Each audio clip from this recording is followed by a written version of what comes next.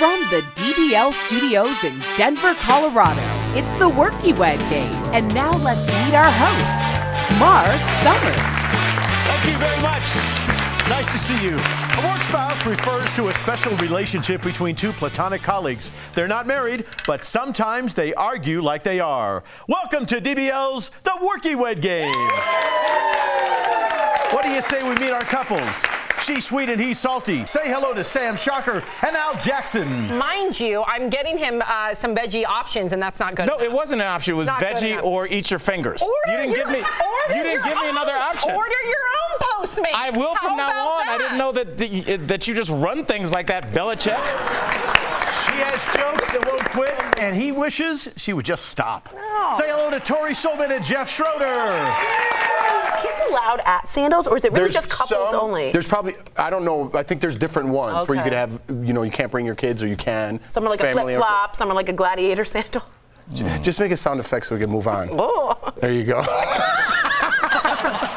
Who has uncomfortable? He's a former NFL player, but she sees through all of his game. Let's meet Erica Cobb and Brandon London. I want a dog, like a like a dog that already knows how to sit, sit down, chill. You don't need a dog. Why not, Erica? You You can- you can have all these conversations like you have all these conversations. Look, well, I, I could have a kid. Yeah, okay.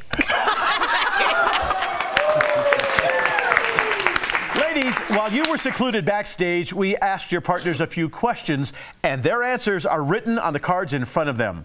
All of the first round questions are worth five points. So, ladies, what did your partner say when asked, What do you do that annoys him the most?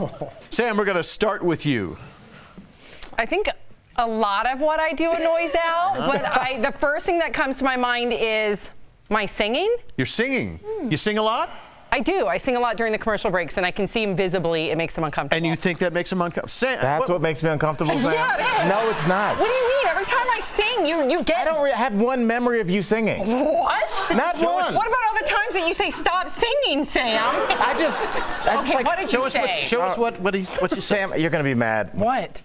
Messes oh, up common phrases. Okay, I do that. I do that a lot. Sam I is. do that a oh, lot. don't throw the baby out because that well will dry up. You're like, that's not. That's that's true. never been a saying. All right, no That's points true. there. Tori, what did your partner say you do that annoys him the most? There's nothing.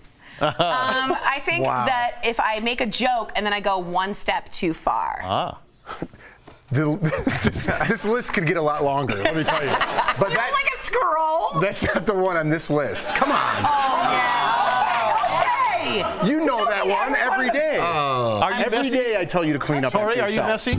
I am, Yeah. and I'm sparking joy and working on it. Okay. good. Hashtag Marie Kondo. So we have no points just yet. Uh, we're going to find out. Erica, what did your partner say annoys him the most? I'm gonna go with correct him because that's all I do.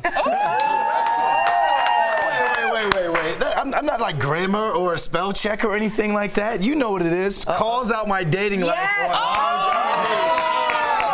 Yes. Well, you would slide out of my friend's DM. I